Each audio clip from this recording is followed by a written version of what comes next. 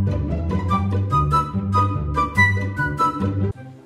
day, MSU1s. Once again, this is Aitin Samayo Parkot, your peso counselor, together with me is Mr. Jeff from, From the class of Professor Robert Pasion, and I think this competition is going hotter and hotter with the more hotter guys.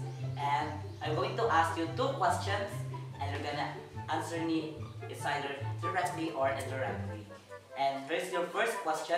If there's one thing you want to change in the Filipino culture, what is it and why?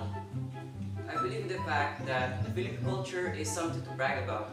One is their being open to others, being hospitable, and being there to help each other out.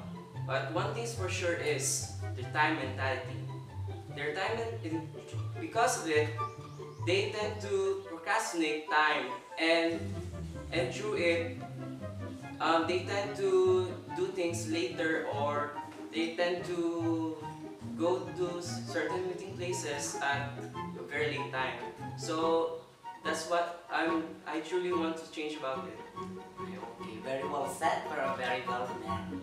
Okay, here's your next question. If a turtle doesn't have a shell, is he considered homeless it doesn't have a shell, I consider I consider it both naked and both homeless.